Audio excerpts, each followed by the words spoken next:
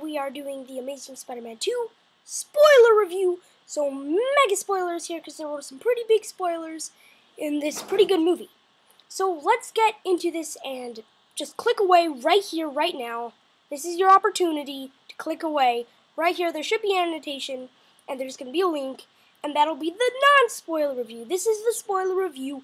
Mega spoilers and everything. Oh, I can handle this. No, you can't. These are spoilers beyond spoilers. Some pretty big spoilers. So let's get into this. Boom, boom, boom, doo doo doo doo, bum, bum, bum, boom, boom, boom, boom. Gwen Stacy dies. Yes, Gwen Stacy dies, and I'm happy she dies. Why am I happy she dies?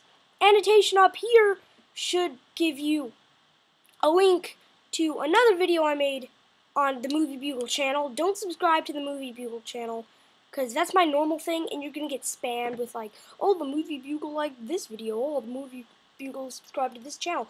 Now you're gonna get really, really, really spammed about that stuff. So just watch that video, and it's a theory about Gwen Stacy dying, and I got that right. My theory was correct. Everything about it was correct, and that's why I'm happy.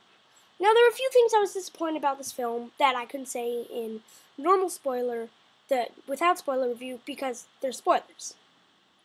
One which Harry Osborn is green, uh, green, blah, blah, blah, green Goblin. You know how many people are like green in the universes of superheroes? Like Martian Manhunter, Green Arrow, Green Lantern. It's like all these guys. Sorry, Green Goblin is uh, Harry Osborn. Kind of disappointed. I don't know. I just was. It was Harry Osborn. I was disappointed that it was Harry Osborn. I wanted it to be Norman Osborn. But okay, fine, Harry Osborn. But what I did like about it was it, it introduced a Green Goblin without the helmet. And it introduced like an actual Green Goblin who's actually genetically Green Goblin. And that was pretty cool to see like this that's a real Green Goblin. Yeah, that's the Green Goblin I wanted to see because that's Green Goblin and that's awesome and stuff. Yeah, that, that was pretty sweet.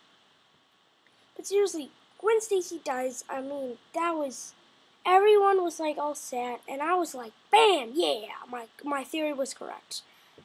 I was like sad, but I wasn't, cause that was my theory was correct and stuff. That was pretty sweet. It was pretty awesome, pretty awesome. So that's what I really thought about this film. This film is awesome, by the way. This film is awesome if you look at the fight scenes. This film is not awesome. Well, no, this film is kind of. I explained this. There's elements of it that you don't like and there are elements that you do like. So like let's just have a talk right here. Let's have it in the chat. So let let let's let's talk about in the comments below who do you like more um Norman Osborn or Harry Osborn? That was kind of obvious.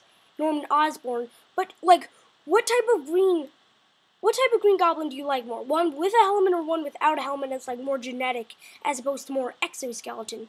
So comment below, let me know what type of Green Goblin you like more, one that's more exoskeleton or one that's more genetically powered like the one that was showed here. But the one that was showed here was kind of a hybrid because he did have that metal exoskeleton type thing.